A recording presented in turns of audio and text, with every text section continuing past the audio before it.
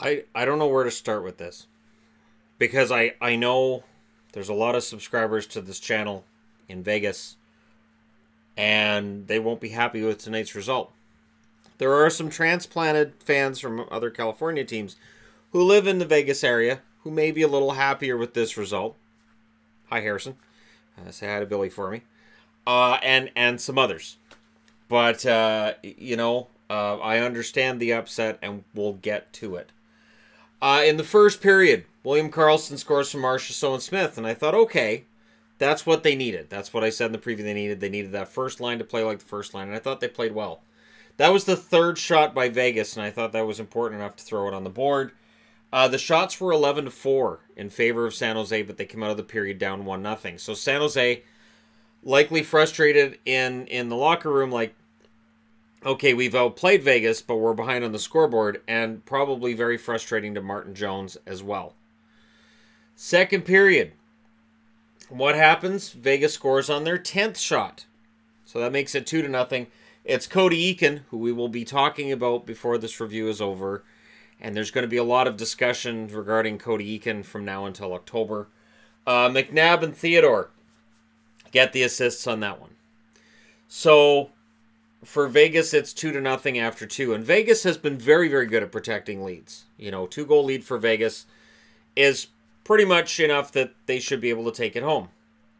Now, in the third period, uh, Pacioretty scores a goal from Stone that makes it three to nothing, and hey, you got yourself a, a big lead for Vegas, and things look good. This is when it happens. So Joe Pavelski on a face-off uh, takes a cross check from Eakin. It was a cross check. And it wasn't, you know, the funny thing is Stastny kind of finished the play off. Um, and and it was it was ugly. So Pavelski hits the ice. There's blood everywhere. He's he's kind of you know out on the ice like he's out cold. Uh, Pavelski's been playing hurt in these playoffs, and I I see this incident, and all I keep thinking is, okay, hopefully he's okay. Um, apparently, it was a compression cut. Those can be ugly. Um, that's the first aid guy in me coming out when I heard it was a compression cut. I'm like, oh, that's those aren't those aren't fun. So Pavelski hits the ice, and a referee watching the play in real time. Referees do not have access to replays. Referees have to see an incident that takes place and make a call in real time. The referee calls the penalty on Eakin for cross checking, which is good, but he makes it a five in a game. So you get a five minute major against the Vegas Golden Knights. I would have been okay with a two, and I'm, I'm not sure if I would have given it to Eakin or Stastny on the play. I would have been fine with a two minute. And a two minute power play, of course, when the power play goal is scored, the power play is over. Five minute major, the power play is not over. So San Jose does kind of a, a rallying cry around this. And Couture scores, I think, six seconds into that power play from Labanc and Hertl. It's three to one. The crowd's into it. And Couture turns to the bench and says that's one. Hertl then adds one about a minute later from Karlsson and Labanc. So Kevin Labanc had a huge game tonight for Vegas, or for, for San Jose against Vegas. And at this point, Vegas fans are not happy campers. And I was doing a podcast while this game was was on, and going into this this power play, I said, you know, San Jose, if it's a major, they're gonna be looking for probably two goals to make it a one goal game. I never envisioned this. Couture from Burns and Labanc. That makes it three three. And then there's a timeout. And Gerard Gallant claims he didn't call the timeout. Now San Jose wouldn't have called the timeout. Now when it's three to three but it, it did feel like it it took some of the energy away from from uh, San Jose at least briefly. Uh, Labanc scores from Meier. This is still on that same power play. So if you didn't watch this game tonight, that's too bad. There were fans that were sitting behind uh, where Gord Miller was broadcasting from who left when the game was 3 0. I'm wondering how many San Jose fans that left when the game was 3 0 and said, well, we're done for this year. Vegas is in the next round and now uh, they're they're probably regretting that decision. Um, so it's four to three, and on the board I write what just happened. because I have no idea what I'm witnessing. I I have watched hockey for nearly 40 years. I've never seen anything like this. Now, I know that Vegas fans are going to be upset with the five minute major, and I agree. It should not have been a five minute major. And what they talked about later on in the studio was is this an instance where there should be some form of replay, where the NHL, Toronto should be able to call in and say that shouldn't be a five minute major. Or at least that a referee can go over and look at the replay and go, okay, that's that's two. Uh, it's unfortunate what happened to Pavelski, but that should not be five. So that's that's a topic that I think coming out of this game, I think we'll end up seeing that at some level with the NHL and the NHLPA, at least discussing it. I don't know that that'll come in, but discussing it. And another uh, instance they talked about in the studio was the delay of game penalty, where a puck goes over the glass, and that that should be reviewable just to make sure that it actually didn't touch the glass. Saying that though, sometimes the replay is really, really inconclusive where you're like, I think it hit the glass because the puck's kind of rolling, but it was kind of rolling before, so I I don't know, I can't tell. Um, so it's four to three for San Jose at this point. Vegas gets a power play. So here's a chance that some redemption. Vegas gets a power play. They do not score on said power play, but they have some energy. They pull Fleury. Marchessault scores from Smith and Stone. All's well. Marchessault with a goal and an assist. It's four to four going into overtime. Um, overtime was crazy. I talked last night about uh, the the Dallas Nashville uh, game and how crazy that was. This was equally crazy. Now, keep in mind these teams don't like each other. The fan bases don't like each other. I don't think tonight's result is going to make any of that any better. Um, now the Sharks kept kept icing the puck while Thornton's line was on the ice.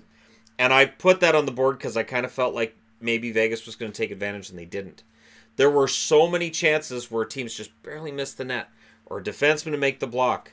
And and so many opportunities here that just didn't quite go in.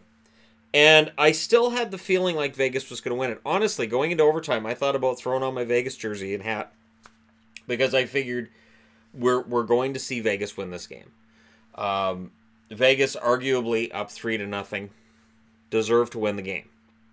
But uh, Barclay Goodrow, and I've got on the board here Klima. So for Vegas fans, I feel your pain. The year's 1990. Peter Klima is on the bench for the Edmonton Oilers. He sucks. So um, coach knows he sucks and says, "Okay, we're we're going to staple you to the bench because you're terrible defensively." Um, and then as overtime rolls on and everybody's really tired, Peter Klima comes on the ice, fresh as a daisy, and skates through everybody and scores. Now, when they announced Barclay Goodrow hadn't played since the third period and he started showing up at 15 minutes into overtime, I went, oh, no. No, because he's fresh. He hasn't played a minute. So everybody else is exhausted and tired, and they've got a ringer. Goodrow gets the goal to win the game. And and if you watch that replay, and if you search out the Peter Klima one, I I think it's similar. Now Klima, it felt like skated through everybody, as a Bruins fan, it was gutting. And oh, I yelled at the TV so much that night that, and I hated Peter Klima forever. Um, I had friends of mine give me Peter Klima cards for years after that. Like, oh, I got a box cards. I kept you these. Peter Klima, stupid Peter Klima, and I'd throw them on the ground. Um, and and you know, so I've I've had the ribbing done against me as well over the years. Uh, Karlsson and Sorensen get the assists on this. Eric Karlsson. Uh, there was a lot of talk about him playing hurt in this series. If he's playing hurt, he's playing very well hurt. Uh, the the win tonight comes at 18 minutes and 19 seconds into overtime. The shots in that overtime were 14 to 9 for San Jose which I think skews the numbers a little bit in favor of San Jose. They were 15 to 14 for Vegas in the third period, 10 to 9 for Vegas in the second period. Fleury saves 43 out of 48 shots. He played great. Uh, Jones saved 34 out of 38, and he had some shaky moments tonight, but at the end, he still gets the win. Um, this is the most unexpected comeback I've ever seen. This is the the biggest um, power play number I've ever I, I can remember is four. Uh, Kevin Labanc ties an NHL record with four points in a period, And I know Vegas fans are going to be really mad about this call. But all I kept thinking too, with San Jose getting goal after goal after goal after goal, all I kept thinking was, where's the penalty kill? I've seen five minute power plays in the in the playoffs, regular season definitely, but even in the playoffs, where there's no goal scored. And the penalty kill comes out and does its job. And so, yes, the call should have been two. If it was two, they would have got one goal. It would have been three to one. Who knows if they end up tying it or not? Probably not. Vegas probably brings it home. But that penalty kill combined with that call, and then Vegas had to come back. I was glad Vegas came back and tied it. I know this overtime loss isn't going to feel any better. I know there's still going to be a lot of complaining in the comment section regarding that call, and that will be the blown call of all blown calls. Uh, and and there have been blown calls going back decades. And Barclay Goodrow doing the Peter Klima thing. Uh, I feel your pain there, Vegas. Absolutely. Uh, for San Jose, they move on to play Colorado. Colorado has to be ecstatic with this tonight. I've talked about seven game series and how it, it gives a bit of an advantage to a team that's been sitting waiting to play, but you can get cold if you're waiting to play. What's a benefit to Colorado is um, Pavelski's out. I, I can't see Pavelski being able to go in the next series. I guess it's possible if he's not concussed. I just don't see how he's not concussed. You've got a team in, in San Jose that had to go to a long overtime in a game seven. That does give an advantage to Colorado, definitely, at least for game one. Once game one's in the books, that advantage kind of goes out the window somewhat. Although, injury wise, I would say San Jose is much more on the limp right now than Colorado. This game was kind of slow in the beginning. I was having a hard time getting into it after the uh, emotional evening I'd already had with, with Boston against Toronto. But man, that third period, that was some of the craziest hockey I have ever seen. So if you missed it, you missed some crazy hockey. But I can understand it's about uh, 1.45 in the morning on the East Coast. I understand if people said, I'm just going to bed. Uh, Vegas is up 3 nothing. They win it. I don't care. Just turn the TV off.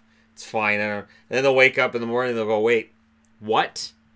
So there you go. Uh, the big what moment tonight is is that San Jose gets the win. And again, we will talk about it until forever. Uh, this is a game that, if you're a Vegas fan, you will never stop talking about this. You'll never stop talking about the call. You'll never stop talking about the power play. Again, referees make these calls in real time. They do not have the benefit of, of, of replay. This may very well lead to a change in that. We'll see. But uh, it's it's a rough way to lose. It, it's happened before on some some level, like bad calls being the reason that a team loses. There are some very high profile reasons for that, but uh, you know tonight Vegas is out in the first round and San Jose's on to the second, so um, big win for the Sharks. Let me know what you guys think in the comment section below. Uh, I know you will. I know Vegas is going to be very upset um, I guess you could downvote the video. That's what Toronto fans have been doing tonight. Uh, that's kind of the expectation on my part. Um, I'm not trying to say anything out of sorts, and I'm I'm being honest in my appraisal of the game. And uh, it's it's too bad that there will be kind of a, a dark cloud over the result. San Jose's moving on, so for Sharks fans, they they can move on from this, and they can say, uh, well, you know, these things happen in hockey. Um, too bad for Vegas, but you know, once once they get into that second round against Colorado, they will be able to move on for this. For Vegas, like I said, that's not going to be the case. Uh, so there you go. Uh, let me know your thoughts. Don't forget to hit like and subscribe if you're browsing your way through. You just happened upon this video. Thank you guys so much for watching. I'll talk to you again soon.